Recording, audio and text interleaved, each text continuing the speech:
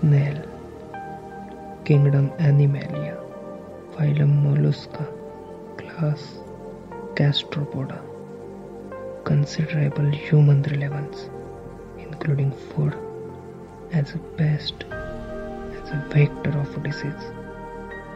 Shells are also used in jewelry. Snails are shelled gastropod, generally found area around us.